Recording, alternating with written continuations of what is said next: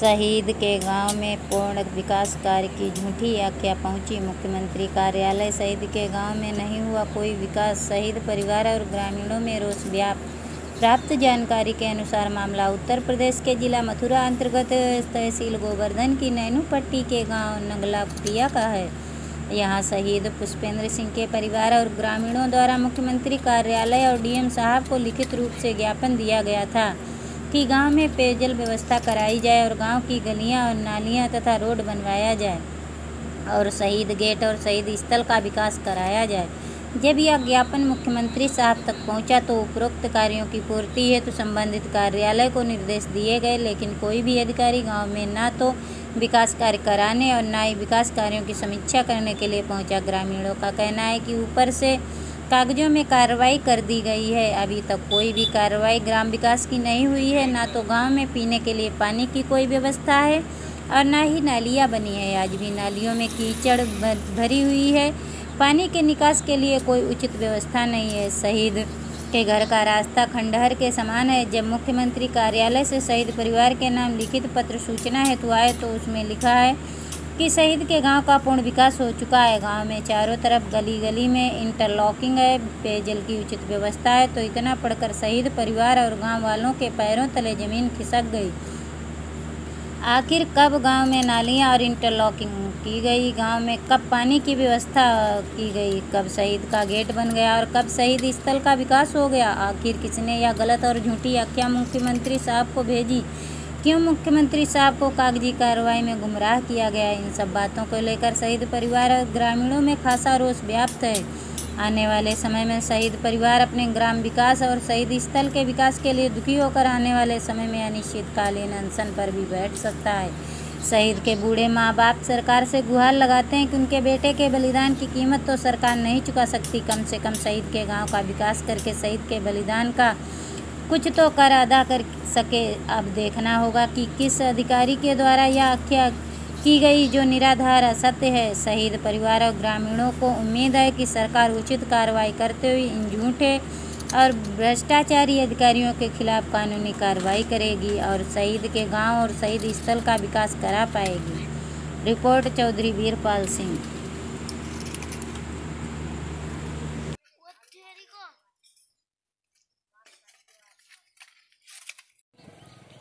आपका नाम? नवाब।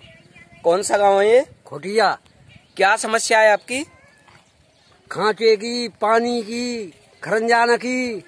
तो आपने किसी को अवगत नहीं कराया शासन में? खूब कराया कोई सुनाई ना करने को। क्या कोई अधिकारी यहाँ जाँच के लिए आया? कोई नहीं आया। तो आप क्या चाहते हैं? ये रास्ता सही है जाए पानी की व्यवस्था है जाए नाम कौन सा गाँव है ये गाँव नगला खुटिया शहीद पुष्पेंद्र का गाँव पुष्पेंद्र का गाँव तो आपके गाँव में क्या सुविधाएँ हैं? हमारे गाँव में कुछ सुविधा ना है। पानी की सुविधा कैसी है? कोई पानी ना खारो पानी है हमारे यहाँ। और रास्ते? रास्ते बिल्कुल घोटू घोटू कीचड़ परे कोई खंजारा नहीं कछु नहीं। तो हमें जैसी जानकारी मिली है मुख्यमंत्री साहब को रिपोर्ट सौंपी गई है कि गाँव में मीठा पानी है। और गाँव में इंटरलॉकिंग है। क्या ये सही है या गलत? गलत। नहीं है यहाँ। कुछ भी ना है। तो आप का परिवार है कुछ भी नहीं है यहाँ कोई सुविधा नहीं है। आप क्या चाहती हैं? हम पानी चाहते हैं खंजरा चाहते हैं और हमारे जो गिरारे हैं ये पक्के होने चाहिए। आपका नाम? मंजू देवी। कौन सा गाँव है शहीद पुष्पेंद्र खुटिया का। तो आपके गाँव में क्या सुविधाएँ हैं या कोई परेशानी? सब परेशानी कुछ भी नहीं है शहीद परिवार है खो पर कोई सुविधा नहीं है ना कोई रोड ना कोई खंजरा ना कोई पानी ना कुछ भी नहीं है। हमें जैसी जानकारी हुई है कि मुख्यमंत्री साहब के यहाँ से लेटर आया है कि गाँव में मीठा पानी है इंटरलॉकिंग है। कैसा पानी है आपके गाँव में? ऐसा पानी है कि चिड़िया पी ले तो वो भी मर जाए। तो आप क्या चाहती हैं? आप क्या सरकार से ये चाहती हैं कि घर घर में पानी हो नली घर के आए और एक कुआ उसमें पानी छूटता है उसमें भी सौ रुपए महीने देते हैं देने पड़ते हैं। घर घर में। घर घर में से। कोई सुविधा नहीं है इनमें। और दो साल तीसरी साल शहीद हुए हैं कि कोई फ़ायदा नहीं दिखा हमें। तो क्या ये झूठी रिपोर्ट मुख्यमंत्री साहब को सौंपी गई है? है बिल्कुल झूठी रिपोर्ट दी है और ये वो वापस करो। क्या नाम है आपका? मेरा नाम तेज सिंह है गाँव नगला भटिया है और ब्लॉक गोवर्धन है जिला मथुरा से बोल रहा हूँ। अब हमारे पास एक लेटर आया है। अब लेटर में सब काम की समीक्षा करके दिखाई गई है कि सब काम हो चुका। न यहाँ कोई पीने का पानी है न कोई बिजली खरंजा है।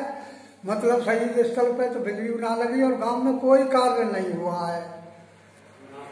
तो आपने अवगत नहीं कराया और फिर से प्रशासन को?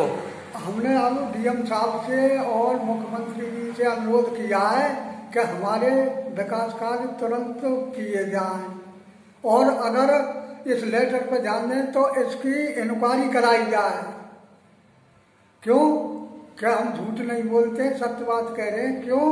कि सरकार को यह काम तुरंत करना चाहिए और मूर्ति का भी अनावरण अनावरण करना चाहिए और गेट बनना चाहिए? कोई काम विकास का एक लेख मात्र काम नहीं हुआ है।